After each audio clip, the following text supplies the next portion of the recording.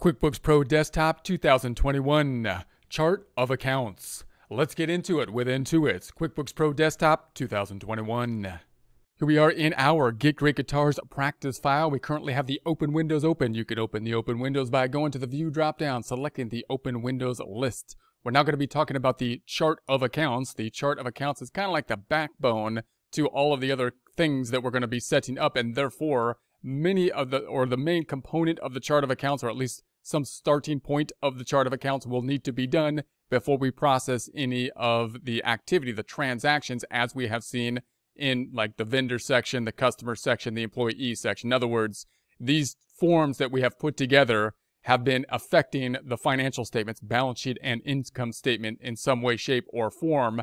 And those balance sheet and income statements are populated or formatted through the chart of accounts. So when you're starting a new company file, then of course you're going to have to set up the chart of accounts and be familiar with the chart of accounts. If you're going into a company file that has already been set up, which is basically what we have been practicing here, the chart of accounts will have already been set up for the most part. You might have to add some accounts now and again, but once the chart of accounts is set up, then it's going to be somewhat repetitive. The accounting process will be somewhat repetitive after that point in time, and you can kind of copy what was done in the past as we enter these transactions, which should be somewhat routine at that point in time. So we'll actually go through the company setup process when we go through the second half of the course to actually run through the uh, practice file and setting up a, a new company and adding two months worth of data to it.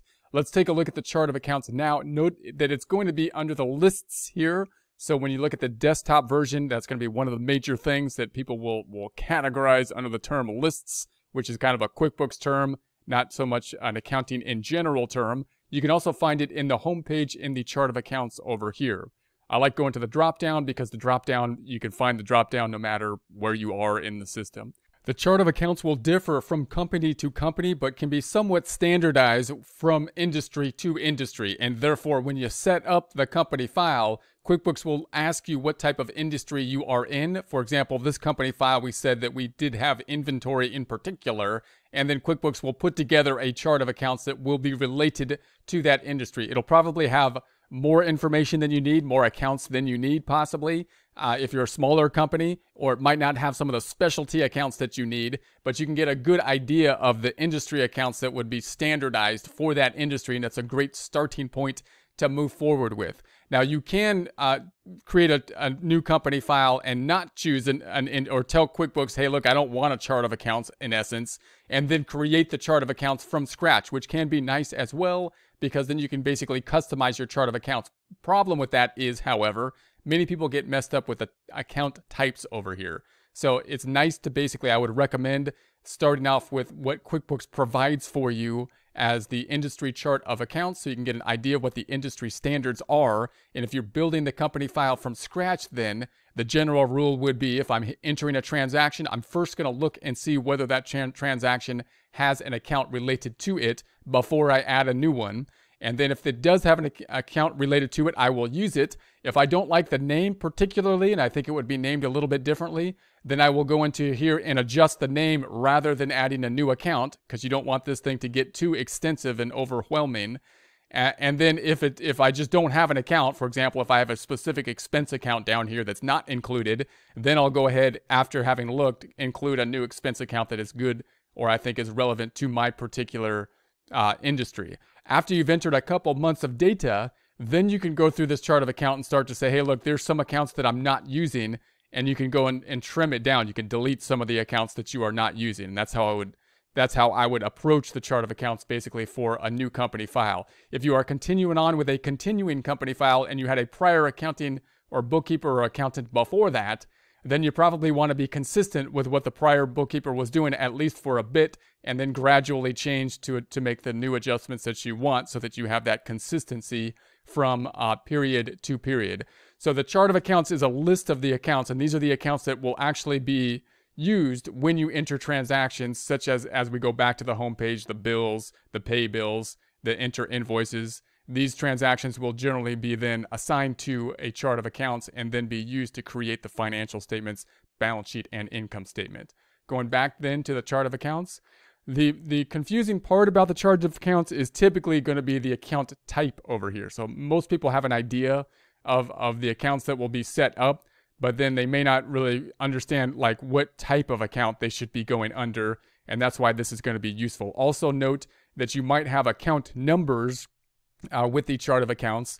Uh, the default for QuickBooks is not to include account numbers.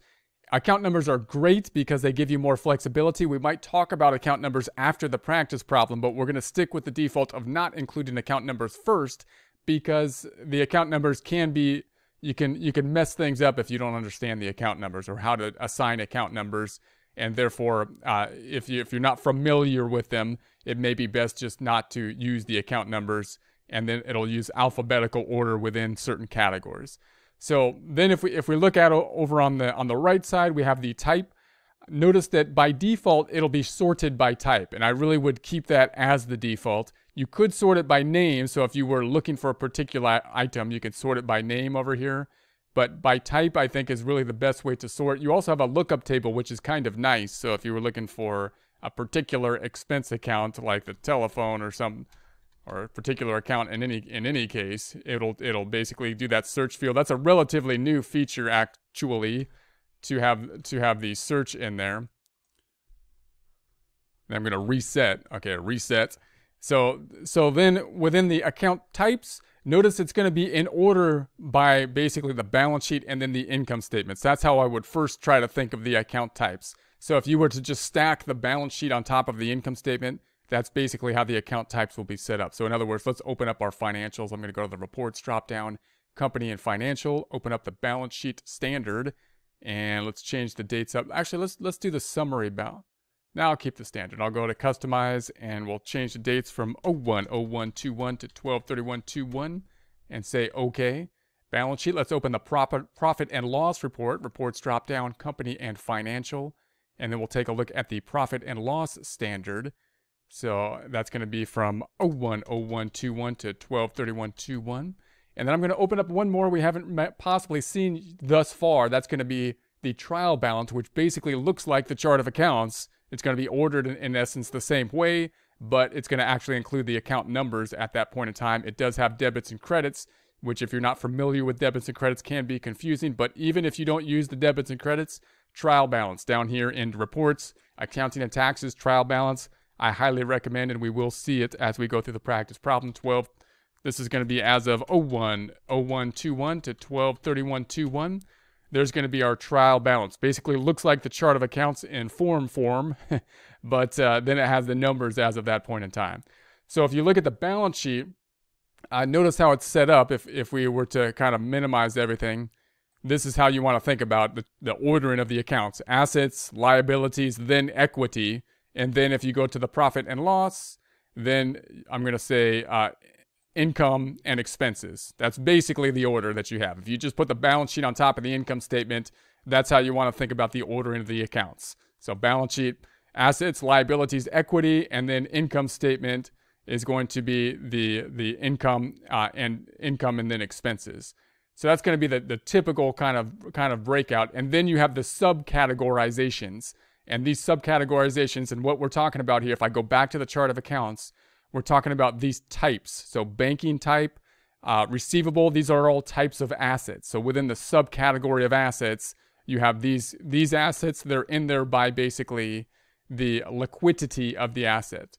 So you could see that in the reports. If you were to say it's going to be stacking up the reports within the assets, we then have uh, the asset types, which are going to include the current assets, and that includes these are the types. So, right, the, the types are then going to break out in these little expander areas. So, within the current assets, you have the checking account. So, that's going to be the checking account type, which is an asset type of account. So, when we set up a new account, if it's a checking account, we got to assign it to a checking account type or bank type. And then we got the accounts receivable, that's an account type. It needs to be broken out separately because the accounts receivable will be tracking the sub ledgers and then we've got other current assets. Every other current asset uh, would be here. Total current assets, and then the fixed assets or depreciable assets, property, plant, and equipment, then down here. So these are the subcategory types of uh, assets. And then in the liabilities and equity, if I was to collapse all uh, these items, we got uh, hold on a second. Just the liabilities and equity I wanted to undo here. So then we got the liabilities, and within liabilities, we've got the current liabilities. Within the current liabilities, we got the types. These are the types the accounts payable type of account, credit card type of account. There's another format of a liability type. Other current liabilities, everything else that's a liability that doesn't fall into these top two types, and sales tax liability. And then within equity, these are all equity type of accounts.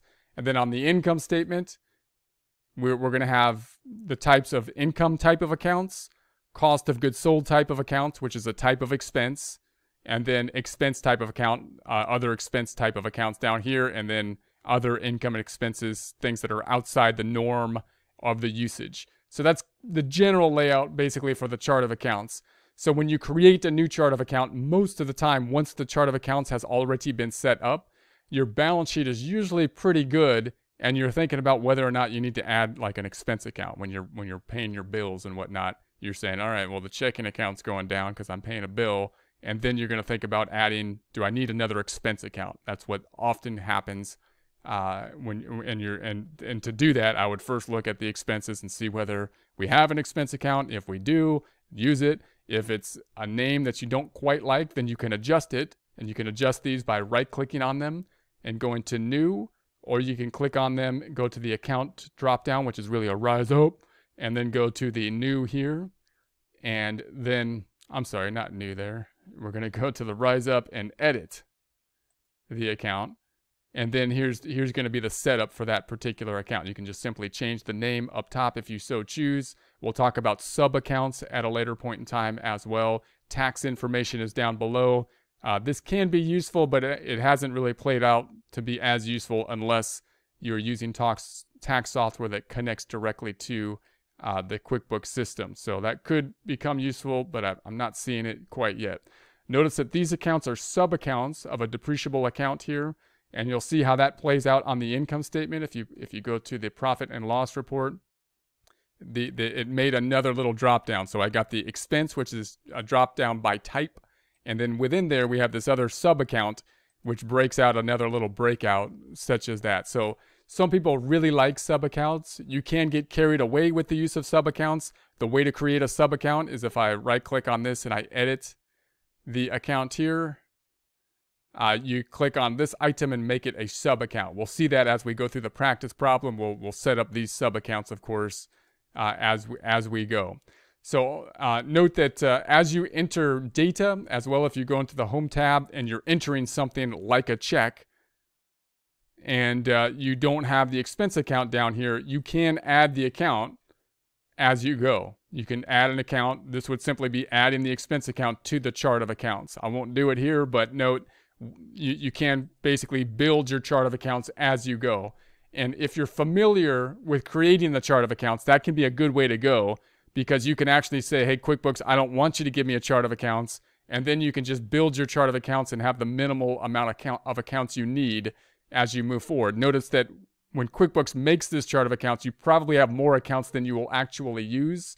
And it, that can be confusing because if I look at something like the trial balance over here, this is the trial balance, basically has the chart of accounts. The accounts that have not been used aren't going to show up here, right? They're not going to be here, even though those accounts are on our GL. So you might want to then, again, after a couple months of data input or maybe a year even, check out what accounts you have used and which accounts you have not used, maybe after your tax preparation, after you've had your accountant review it and whatnot and and then you can go back to the chart of accounts and any accounts you have not used you can remove them so you can have as few accounts in here as possible that you need to record the transactions so that it doesn't get confusing it's it's more likely that you pick up the wrong expense account and then your matching is not quite right if if you're picking up different expense accounts so it's it's nice to have just what you need in here also note that if you want you if you're uh, do not want to delete an account possibly it has activity in it or you're just kind of worried about deleting them, you can make them inactive as well. So I can I can edit this account and I can say I, I want to make it uh, inactive. And if I make it inactive, then it'll kind of it won't show up here unless I search for the, the items that are that are active and inactive. This little check mark would have to be checked off. It's not, it's gray here because I don't have any inactive accounts. But if I had inactive accounts, then this little check mark would have to be checked off to see the inactive accounts, and then you can basically reactivate them at that point. Now, if you want to turn on account numbers, you'd have to go to the Edit tab up top and go down to the Preferences, and then you want to go to Accounting and the Company Preferences tab, and then you have the Use Account Number. So if you click on that item, it'll turn on uh, your account numbers and you can start to track the account numbers. The reason those can be useful, notice what happens if I don't have account numbers. If I go to the trial balance here, you'll see that this is an order just like we said. It's a, it's a, it's an order by type and then it's in order it's in order by balance sheet on top of the income statement assets liabilities equity income and expense. And then it's in order by the type of, of asset liability equity income and expense. So we have the cash accounts and then we have the accounts receivable accounts and so on. On the income statement for example you'll see that we have a, a, the, the biggest category is usually expenses right? So if you if you look down here on the expenses side of things then it's in order within the expenses. These are all expenses from from the bank service charge depreciation on down. It's in order within that category in alphabetical order. So the entire thing is not in alphabetical order, but within it's in order by type, by account type. But within each account type, the largest category of account type being expenses, it's in alphabetical order. Now that could be good or it could be bad. Uh, you you might want to order this in some other way. You might want to have more control to order them in here, and to do that, you can use account numbers. But if you use account numbers and you assign like like an, an account number that's out of out of order, like let's say I assigned the account number for the checking account to be uh, 5,000 and the check and the account number for an expense account or cost of goods sold to be 1,000, you would think cost of goods sold would then be ordered before the checking account. But that's not necessarily the case. QuickBooks will still order by type first and then account number. So so if you misuse the account numbers, then it can be look really weird. The account numbers can be basically out of order uh, in that format. So you want to be careful there. Another example of this, and we dealt with that if I go to the balance sheet on uh, the asset side under these fixed assets, we set up these uh, sub accounts. And within here, you got these are both fixed asset type of accounts. The first one's accumulated depreciation, the second one's equipment accumulated depreciation should be under equipment typically because the equipment is like the parent account and this this one below is, is basically tied to it. But because they're both in the same category and this one starts with an a it happens to be on top. If we used account numbers we would be able to to adjust that. So we'll talk a little bit more about the about that as we go. Again uh, we're not going to go into account numbers on uh, the practice problem but we might touch into it on how you how you can go about adding the account numbers you know, more carefully and thoughtfully uh, after the entire practice problem. But by default, it'll still be an order by account type on your trial balance and financial statements. And then within the account types, as we saw with the expenses, it will then be an order by uh, by the by the alphabetical order in general.